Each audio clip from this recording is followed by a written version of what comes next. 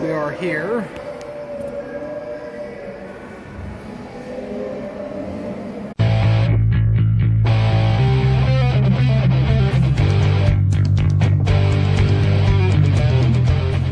They were at the Monroeville Mall for the Living Dead weekend convention, Dawn of the Dead and Creepshow thing. Uh, say hi. Show my shirt. Look at my shirt, guys. Zombie baby. I got this one. We're trying to figure out where we're supposed to go though. I have no idea. It's actually a pretty big turnout. There's a lot of people that are here.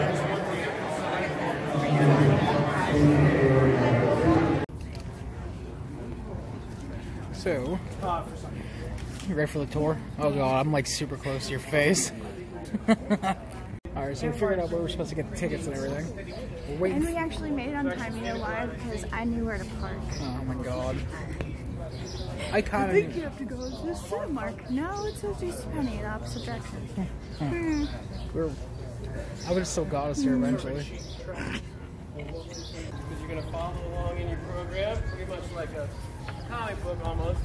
You go across the top, and the next row, next row, and I'll be showing you all these points along the tour. And they come around the parking lot, and they drive all around here, and they park their van around here, and this is where they battle the zombies before they shoot the lock off, and they enter through those large glass doors, which do open still to load in bigger things into the mall.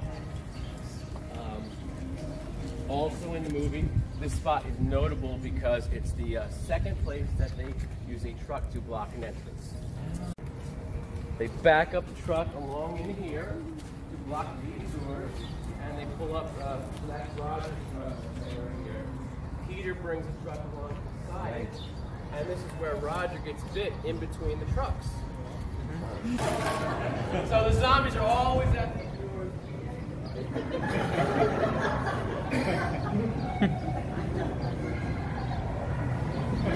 doors.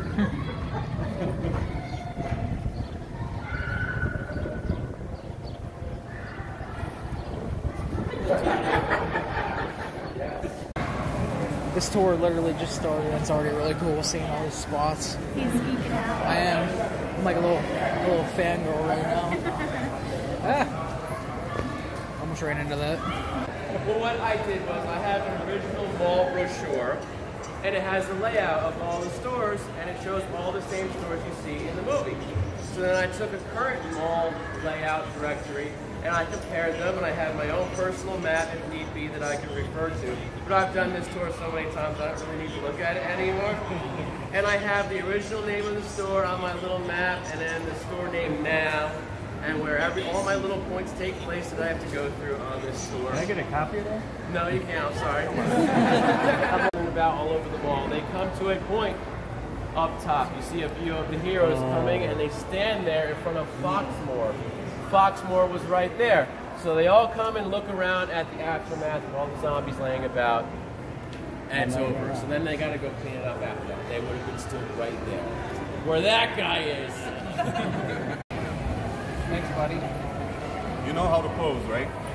You know what Flyboy does. That's right. Ready? You are trained well. Perfect. So I'm pretty sure we're going back to the boiler room. I'm not sure. It's cool because it's all still like the original, like brown and white. Yeah, yeah. I took a picture with that little kid that looked like Flyboy. I think. Did I take a video too? No, just a picture, I think. I don't know. Well, I mean, they'll know because it'll be before this. So now I just sound like a big dummy. So the next part of the tour is we're actually going to go into the boiler room, which is cool because like they still have like the original dials and stuff on the wall. Looks like it hasn't been touched since the 70s, which is awesome. It hasn't been updated, so that's pretty cool.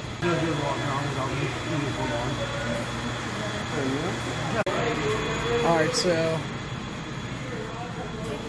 Oh, this is so cool. We're in here. We're in here unsupervised. Are we supposed to be in this actual room? But they have the original control panel and everything from the movie. That's so cool. Hey, how about a little music? Might cover the noise we make. As you see, that's the control center you see in the movie. Come closer, I gotta show you something. I, I just noticed something in the back. Come closer, you guys see. Come closer.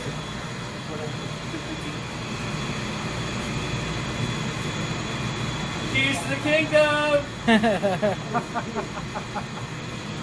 Keys to the kingdom. Yeah. What do you know? 26 upper, 26 lower.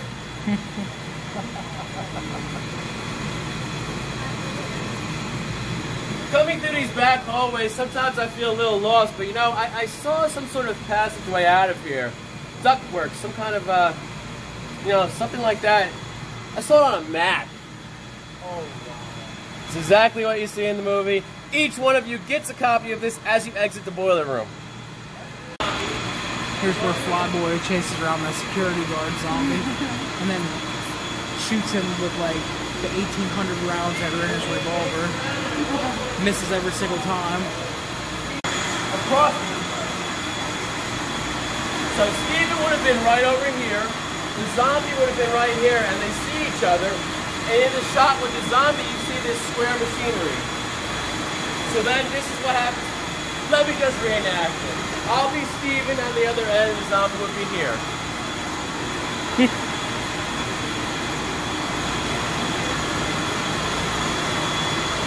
So, zombie there, I'm Stephen, we see each other, the zombie goes around the corner, I go around the corner. The zombie is coming at Stephen. He fires, click, click, he's out of bullets, he forgot to reload. So he runs off down the back.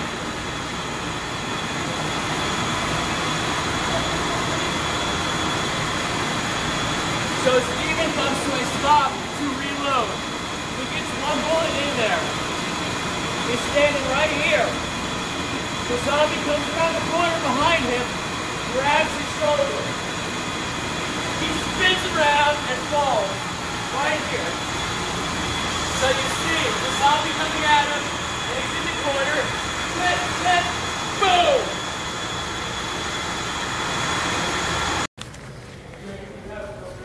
So that was really cool. Going back here, seeing the boiler room, they gave us one of the schematics from in the movie. So that was pretty cool. Oh, I just hit my elbow. So this is where the original J.C. Penney's was from the movie. So what they did was, this is documentary, the. So this is where that zombie goes up the escalator. So he just sort of wanders on.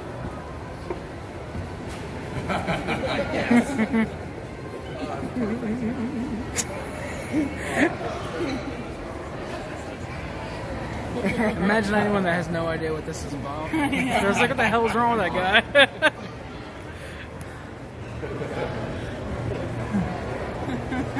They're like, why are these people filming him?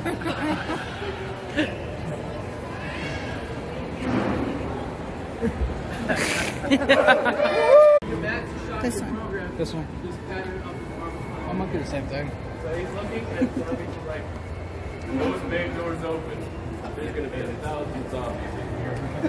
That'll take the heat off. And this is the exact same model of what of the uh, in the movie. Oh yeah, because Not the that's in the previous background. collector. I found the same model and I had to have it. And it's tower was. So in the direct center of, the, of the, this courtyard is where the clock tower was. That's where the clock tower was, right there in the middle of that courtyard. because the majority of it wasn't working anymore. And the interesting thing about the clock, it was built and placed here when the mall opened in 1968. And there were puppets that would come out at, at either the half hour or on the hour. And there were, I think, 13 of them, and each one represented a different nationality of people who live in the Pittsburgh area. Italian puppet maybe, or a Polish puppet or some such thing. All different puppets, and then maybe on every uh, six hours, all of them would come out at once. And most, I'll tell you what it is now.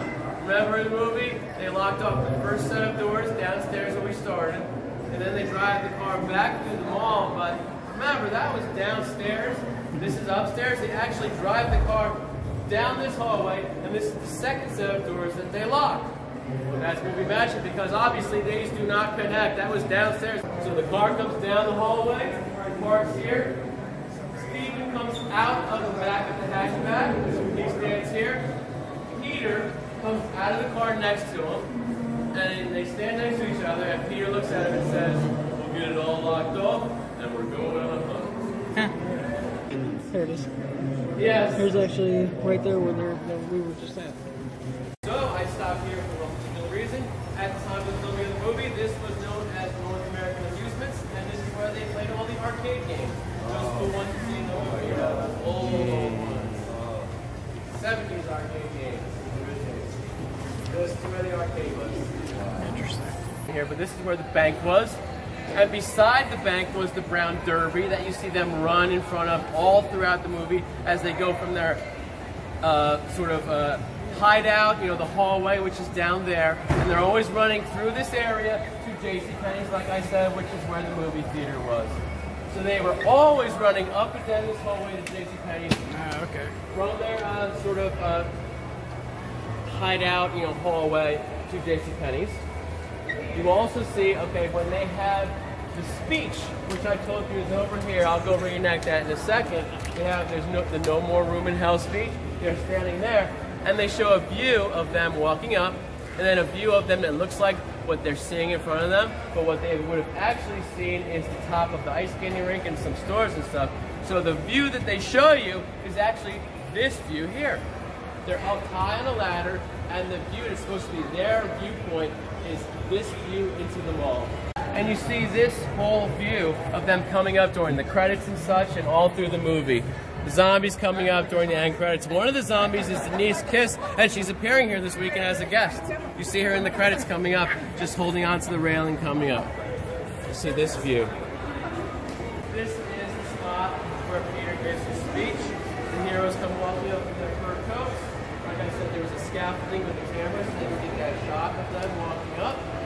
And if you watch the documentary, Document of the Dead, you see them filming that scene. They're actually stood back a little bit like over here. They have the cameras and crew in front of them. So Peter gives his speech and he starts, you know, they have to go back and forth. You why are they here? Why are they coming here?